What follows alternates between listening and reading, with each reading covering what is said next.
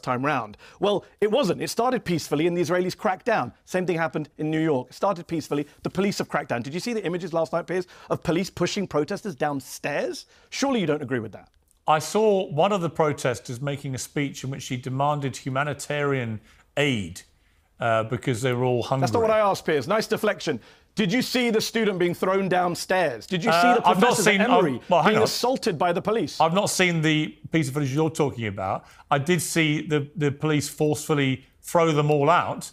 And I think it was long overdue. Yeah, Did when, you- when students break you into see- a did you building, support- when they commit Maybe- vandalism, Oh, hang on, when they commit vandalism, trespass, they hold people against their wishes, right? They're going to face potential criminal like criminal all charges. protests throughout history, Piers. Well, hold on. Like they the may- Vietnam War protests, well like the face- civil rights protests, they may like well the face criminal- protests. they might face well- criminal I thought this show is it. called Uncensored. Yes. Maybe you should rename it Piers Morgan Censored if you're in favour of cracking down on protests. Things before we finish. Yeah. Very quickly. One is. I hope you do write a column about what's happening to pro Palestinian students, including Jewish students. Mm. The violence that's being meted out to them at places like UCLA, Emory. I don't know if you've seen the scenes from UT Austin, where Governor Greg Abbott has basically sent in a fascist, paramilitary looking police force to crack heads. Right? I hope you'll condemn that in the interest of free speech. And number two, look, you, we can argue all day about broken windows at Columbia University. I don't support violence, I don't support property damage. That's my own personal thing.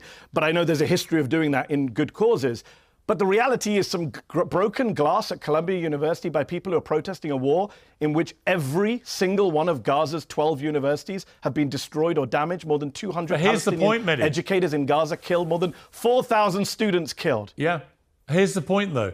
This has been a massive distraction from the war, and that's my other problem with it. Is you've got a bunch of students in New York causing you know, merry hell, distracting everyone's attention Well, from what is actual, the- genuine merry No. hell for people in Gaza.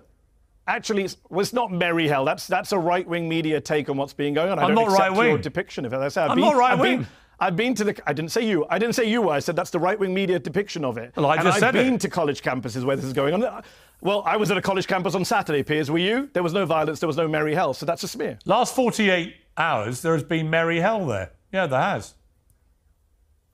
Not at the college campus I was at. There's dozens of campuses all over the country. And at Columbia, the hell is from the police. There are lots of universities, Piers, where this is not kicking off because the university administrators have been smart. They've talked to students, they've listened to their demands. Their demands, by the way, is not intifada. Their demand is for divestment from companies profiting off of Israel, a reasonable demand. In other places like MIT, Brandeis, other universities, they've actually talked to students. It's in Columbia where this insane president who should quit decided to call in the police outrageously.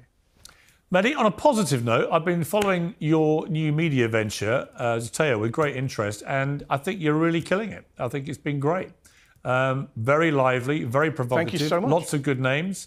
And I salute you for showing, as I think we do here, a, a different way of doing things in the media landscape now. So, congratulations on a great start. Thank you so much. We will, both of us, continue to do different things going forward. That's the future. And you can always be a guest.